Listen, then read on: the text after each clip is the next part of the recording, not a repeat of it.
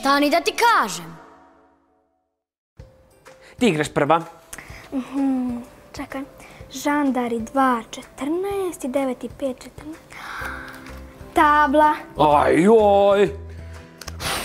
Uvijek me pobjeđuješ. Evo ti, evo ti, evo ti, evo ti jedna trica. Opet tabla. Ma daj, Tamarice, evo ti jedna šestica. Opet A tabla. neću više tako da se igram. Evo ti, evo ti jedna petica.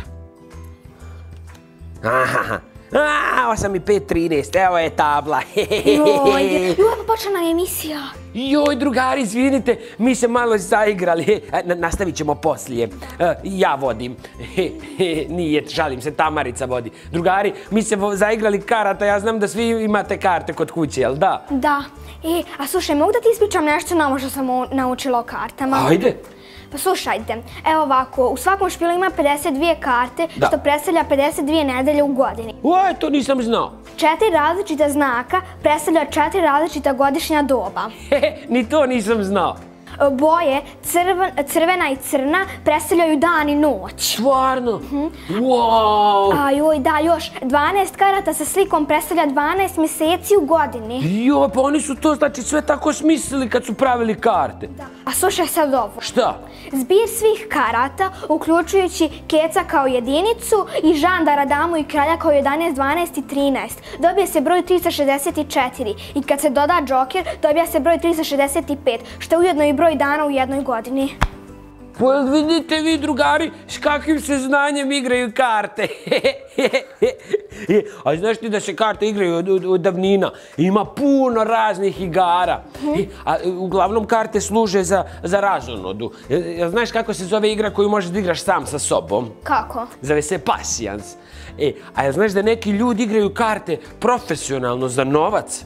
A joj, pa zanemarit ćemo to profesionalno igranje. Ja mislim da je igranje karata onako za zabavu, da se svi jed- jednako zabave. Jeste, drugari Tamarica nam je skoro sve ispričala o kartama, ali možda ipak da pogledamo neki mali video od kartama. Može. Ajmo. Stani da ti kažem.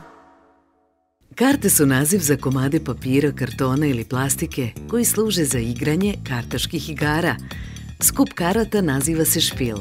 Osim za zabavu, kartanje, trikovi, gatanje, karte mogu služiti za profesionalno kockanje. Nisu sve karte jednake. Razlikuju se po tipovima kartaških igara za koju su namijenjene. Svaka karta u špilu je različita, a označene su bojom, simbolima i različitim motivima po kojima se karte lako slažu. Vjeruje se da su se prvim kartama služili u Istočnoj Aziji, u Koreji i Kini, a kasnije su preko Indije i Egipta donesene u Europu. Danas se u različitim dijelovima svijeta koriste različiti špilovi karata za igre koje su karakteristične za to područje. Tako postoje mađarice, italijanske i angloameričke karte. Posljednjih godina kod nas je popularna igra Uno. Špil angloameričkih karata dijeli se na četiri znaka ili boje od kojih svaka ima po 13 karata.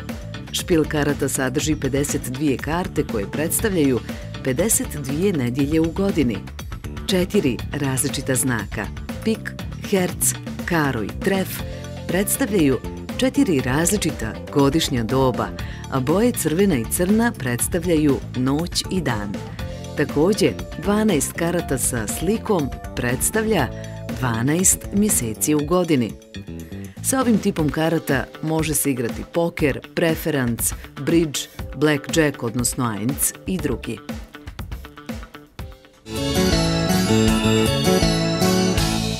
Stani da ti kažem.